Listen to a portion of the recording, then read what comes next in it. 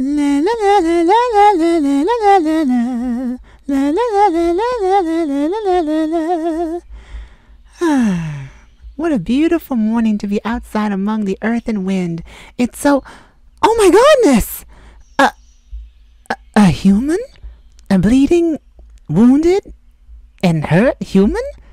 In this region of the forest? Oh my stars, this does not bode well. And he's unconscious? So he might be dead too. Just my luck, Iridwell. Now I feel morally conflicted. Shall I leave him to die and mind my business, or do the stupid route and help him, and also expose myself to a human? well, wouldn't be the first time I did something stupid. Okay, Iridwell, I'll help the foolish human. Hello? Hello? Can you hear me? Damn, he's knocked out cold and that wound on his leg looks pretty bad if I am any judge. He'll die out here without any help. So, I guess I'll try some healing magic. Alrighty, let's see if this works. Okay, the wound is healing. Ooh, I did good. And oh, he's he's waking up. Uh, uh, uh hello? Uh, human. What am I? Are you in any place to ask me any direct questions? I have a better response. Who are you? And what are you doing in this part of the forest? What? You were hiking and you accidentally lost your footing and you can't remember anything else, huh? Hmm, likely story. It's the truth, you say? Well, human, I have no real concrete reason to believe you, other than the irrefutable fact that you were injured and I healed you up. You're welcome, by the way. Oh, thank you. Oh, so you humans do have manners. Well, I guess I've bumped into a water nymph. What's a water nymph? Never mind that. Anyway, can you try to stand up on that leg? I need to see if my magic has healed you enough so you can stand up. Uh-uh. No, no, no. Okay, okay, okay. Sit back down. Sit back down.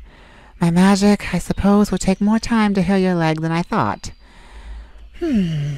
So, I'll keep you company so you don't end up more injured than you are now. Uh, oh, you're, you're welcome, human. This is an unexpected meeting, but I do have a question for you. What were you thinking hiking out this far into the woods? without anyone in the event that you get injured, and surprise, surprise, you did get injured. Are you reckless or are you just stupid? Hey, don't get mad at me since you want to be a daredevil.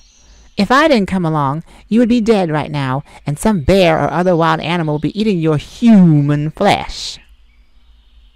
No rebuttal? I thought so. I apologize. You're already injured and calling you stupid isn't helping, I take it. No? Well, hopefully you don't make any more foolish decisions like this in the near future. yeah, I bet you're learning right now. I'm not good at conversation, am I? Alrighty, let's start over. Hi, hello. I'm Iridwell. I am a fae or fairy, and I already know you're a human, mister. So what's your name? Hmm, not a bad name. And I suppose we're sitting here until your leg gets better. So we both can be on our way. Huh? Where do I live? In the forest, you ninny! We Fae love to be around nature, since nature is our primary element. So, human, where do you live, since you love asking me so many damned questions? An apartment? In the city. Oh, you're a city man. So, city man, are you trying to brave these woods because of what? Because you've lost a bet? Oh, this keeps getting better. Keep talking. Uh-huh. And the bet was that you had to brave the woods alone and without any communication. I'm sorry to say this, but I will.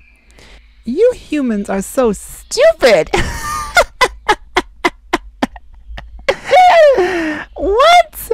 Oh my stars, this has to be the most dumbest thing I've ever heard in my days, and by a human. Wowzers. and you're paying the price for it now. Thankfully, not with your life. Oh. You gotta stop making smarter decisions, handsome, or you'll never live a long life. Oh, did I just call you handsome? Uh, uh, uh, uh I mean, I mean, I mean, dashing. I, I, I mean, no. I, I mean, I mean, hunky. I mean, I mean, no.